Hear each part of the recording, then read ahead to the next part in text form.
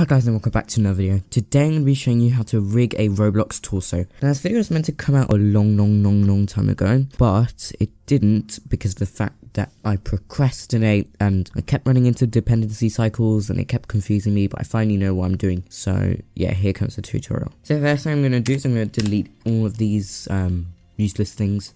I'm adding in my model and I'm just going to delete every single thing but the torso and I'm going to put this in the middle. Now, uh, you want to go into edit mode on a torso, press Alt J and then M by distance. And um, basically, you've optimized your rig, as C4D users would say. By the way, you need to press A before doing that so you can select all the vertices.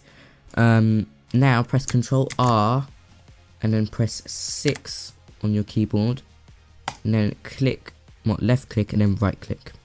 Then press Control R and then 6 again and then left click and right click. Okay, now I'm going to go into uh, wireframe mode and I'm going to add an armature. And I'm going to make it um, uh, viewport display in front. And go into edit mode for the armature and move this bone down to here. And then uh, just move the um, the head of this bone like to about here yeah. And then extrude off it by pressing E. And then um yeah so now i'm gonna name these so call this one um let's call this one actually lower torso and call this one upper torso. And now from this little upper torso bone right here extrude down. And then um from this bone call it hip now, right here in the little um, pose button thing, uh, go to a different layer. Right here, we're going to add a new bone. So, um, add this one right here, move it down. And um, I'm going to move this uh, tail right here. And extrude off it about like here.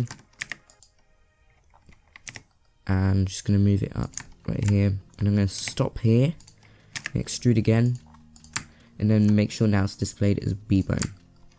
Now select this bone and call it torso bendy. And call this one torso um, S handle. This one I'm going to call it torso T handle. Actually, I'm going to call it E handle since that's an N handle. There we go. Now right here you want to go to bone properties and go to bendy bones and turn up the segments to about 10 really. I'd say 10 is good enough. Now right here what you want to do is you want to go and select this little end handle right here. Press Alt P, clear parent. Now make the parent the upper torso bone. Now go back into pose mode and select this. Make sure the start handle is the torso S handle. And make sure the end handle is the torso E handle and make sure these are both on absolute. Now go right here to the um, constraint tab and add a stretch to constraint and uh, make the target the armature and make it the E handle. Now what we're going to do is we're going to um, shift click the torso and then shift click the um, armature and then press Control P and then empty groups with empty groups. Select the torso and then go to vertex groups um, thingy bajig right here, whatever it's called. The panel, yeah, the, the vertex group panel. Remove every single vertex group but um, the torso bendy. And go to edit mode, press A and make sure the weight is on 1 and press assign.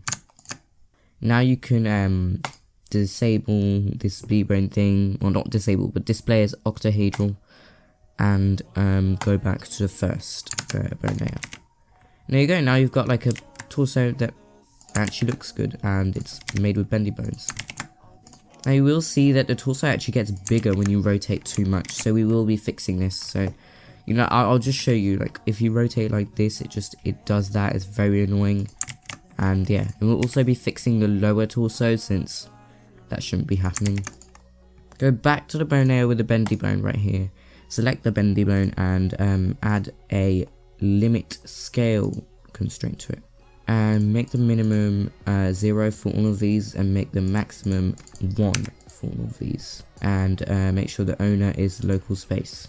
I'll go back to here and you will see it doesn't scale annoyingly anymore. Now we need to fix this. So this is where we actually start using the hip bone. So go back to this bone layer and select this handle right here. As you can see it's not being used. So just select it and um, go into edit mode and go to bone properties and make its parent the hip. Now right here as you can see, whenever we rotate this, it works. So now we've got a hip bone working and it looks kind of nice in my opinion. And now whenever we use the lure it works. Thank you guys so much for watching this video. I hope this helped you and I hope you enjoyed it. I'll see you next time. Bye.